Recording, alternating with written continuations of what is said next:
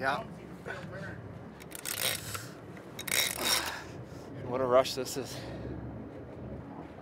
It's an experience you can't even imagine. I know video won't do it justice. You gotta sit in this thing they rooked me into sitting on. Trust in my life that I don't fall overboard and go for a swim. There's nothing hanging me in here. As you can see, they're worried about my safety. They got the rod, reel safe, but they don't got me locked in. Spike your feet to the floor. Coming up. Oh!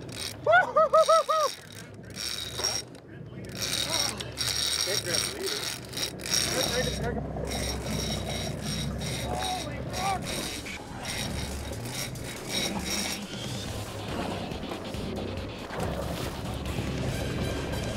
Gary, over here, boy.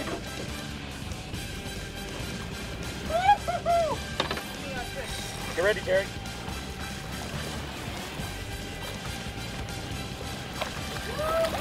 One over here, Chris.